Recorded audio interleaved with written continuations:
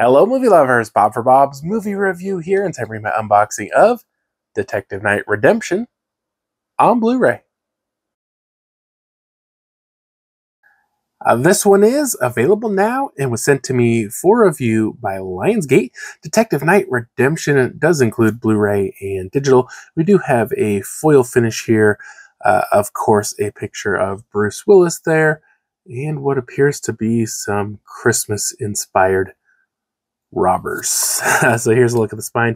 It does have the Lionsgate logo in the bottom corner. Uh, just kind of a few images there of the characters.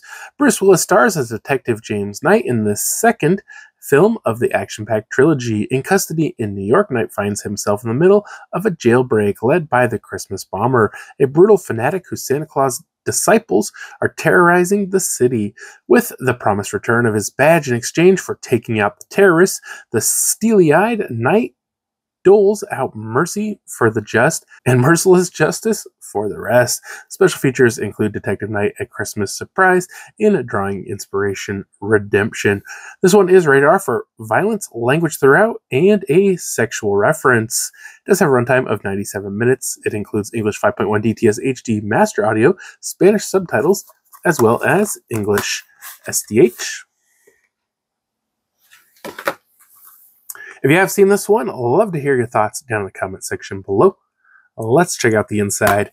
And of course, Lionsgate just includes a plain blue Blu-ray.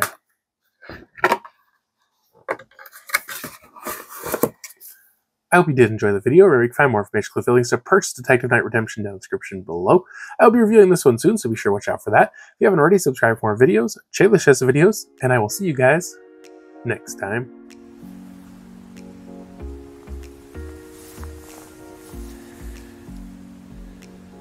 Okay, the video is done, choose another video.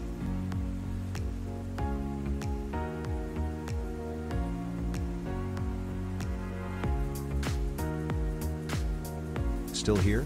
Subscribe, and visit my social media links.